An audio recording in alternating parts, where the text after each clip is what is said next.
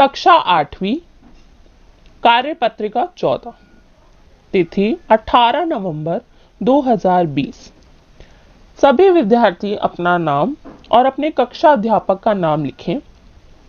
आज हम पढ़ने वाले हैं विस्थापन अभिक्रिया। अभी तक हम जान चुके हैं कि कुछ धातुएँ अधिक अभिक्रियाशील होती हैं तो कुछ धातुएँ कम अभिक्रियाशील होती हैं और कुछ धातुएँ तो किसी से भी अभिक्रिया नहीं करती हैं। अब हम धातुओं की अभिक्रियाशीलता के बारे में विस्थापन अभिक्रिया की मदद से जानते हैं। इसके लिए आओ एक क्रियाकलाप करें। 100 मिलीलीटर के पाँच बीकर लें और उन पर ए बी सी डी और ई e चिन्हित करें। प्रत्येक बीकर में 50 मिलीलीटर जल लीजिए। प्रत्येक बीकर में दर्शाए गए पदार्थों में से प्रत्येक का एक चम्मच डालकर घोलिए। बीकर ए कॉपर सल्फेट में जिंक के टुकड़े। बीकर बी कॉपर सल्फेट में लोहे की कील। बीकर सी जिंक सल्फेट में तांबे की छीलन। बीकर डी आयरन सल्फेट में तांबे की छीलन। बीकर ई जिंक सल्फेट में लोहे की कील। इन बीकर को बिना छेड़े कुछ समय तक रखा रहने दीजिए और अपने प्रेक्षण को लीजिए।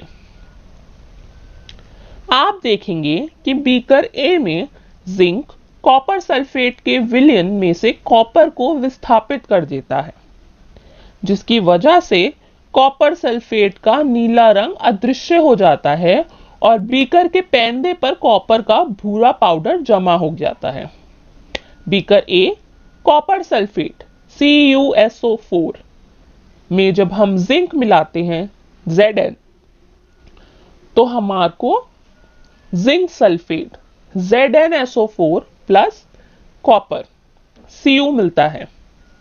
बीकर बी में लोहे यानी आयरन ने कॉपर सल्फेट के विलियन में से कॉपर को विस्थापित कर दिया। बीकर बी कॉपर सल्फेट में जब हमने लोहा, Fe मिलाया तो आयरन सल्फेट FeSO4 और कॉपर हमें मिला। हमने देखा कि बीकर CDE में कोई अभिक्रिया नहीं हुई, जिसकी वजह से उनमें कोई परिवर्तन नहीं हुआ। यहाँ नियम यह है कि केवल अधिक अभिक्रियाशील धातु, कम अभिक्रियाशील धातु को उसके जलीय विलयन में से विस्थापित कर सकती है। लेकिन कम अभिक्रियाशील धातु अधिक अभिक्रियाशील धातु को विस्थापित नहीं कर सकती है। प्रश्न एक, कॉपर विलयन और कॉपर का रंग कैसा, क्या होता है? कॉपर विलयन का रंग नीला होता है और कॉपर का रंग भूरा होता है। प्रश्न दो। कॉपर जिंक के विलयन में से जिंक को विस्थापित क्यों नहीं कर पाता है? कॉपर जिंक के विलयन में से जिंक को विस्थापित इसलिए नहीं कर पाता है क्योंकि जिंक अधिक अभिक्रियाशील धातु है और कॉपर कम अभिक्रियाशील धातु है। प्रश्न तीन। जिंक, आयरन कॉपर को अभिक्रियशीलता के घटते क्रम में व्यवस्थित करें। सबसे पहले सबसे अधिक अभिक्रियाशील जिंक उसके बाद आयरन और सबसे कम अभिक्रियाशील copper. Zn, Fe and Cu प्रश्न चार।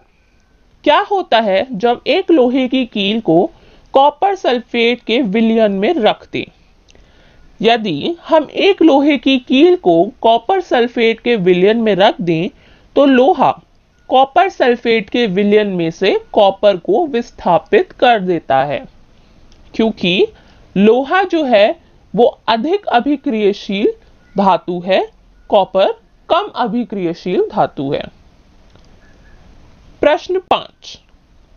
अभिक्रिया को पूर्ण कीजिए।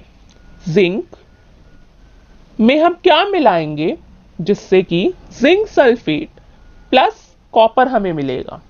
तो जी हम जिंक में कॉपर सल्फेट को मिलाएँगे तो हमें जिंक सल्फेट और कॉपर मिलेगा।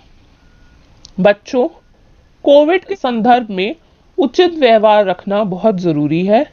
आप सभी कोविड की लड़ाई में सुरक्षित रहने के लिए मास्क ज़रूर पहनें। तो बच्चों, ये वर्कशीट यहाँ कंप्लीट होती है। अगर यह वीडियो आपको अच्छी लगी तो इसे लाइक एंड शेयर ज़रूर करें। अन्य विषयों पर बने हमारे लेटेस्ट वीडियोस को देखने के लिए चैनल को सब्सक्राइब करना ना भूलें और देखते रहिए हमारा channel knowledge kingdom thank you